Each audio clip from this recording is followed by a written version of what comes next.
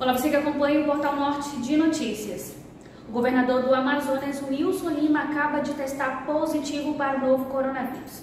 Ele seguirá em isolamento social e vai cumprir a agenda por videoconferências. Mais informações sobre o estado de saúde do governador do Amazonas você acompanha em instantes aqui no Portal Norte de Notícias.